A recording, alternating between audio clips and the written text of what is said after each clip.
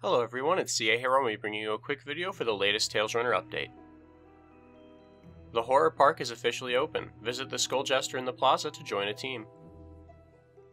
There are currently two maps available in the event, Clown Parade, a survival map, and Dr. Hell's Rumble, a rumble map. Both map comes with an emblem that you can obtain by playing on the maps.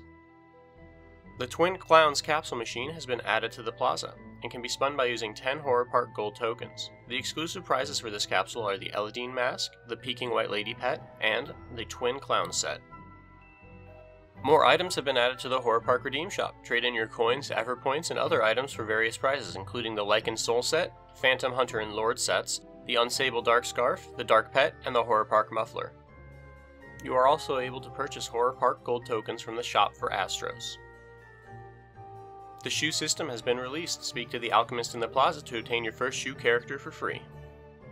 You can swap with Shoe mid-race by hitting the tab button and it is invincible similar to Fury. Check back on this channel later for a full guide on the shoe system. The Olympus capsule currently contains the Demeter pet, Demeter set, and Demeter themed farm items. All Demeter items can be turned into durability items at the Cap Jester. The Demeter Hair and Pet have a bonus of 200% EXP and 100% EXP respectively until January 11th. If you receive two Demeter chips, you can obtain the Goddess of Harvest Demeter emblem. The Riddle box has been added to the shop. These boxes drop a variety of items including the White Archon set, the Jelly Dragon set, consumables, and Henry III's gold tokens. These gold tokens can be used to turn the White Archon set into durability, as well as purchase several old event items, Ancient Soulstones, and all of the Jester pets. The Holiday 2016 box has been added to the shop. There is a chance to obtain several Christmas themed items from these boxes. Finally, the Red Jester located by the Black Viper Dragon in the plaza is asking for help finding snowflowers to bring happiness back to the Snow Village.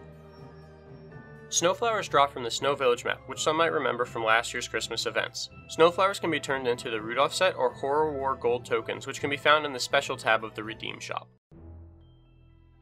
The trivia question for this week is How many Horror Park tickets does it take to craft the Horror Park muffler?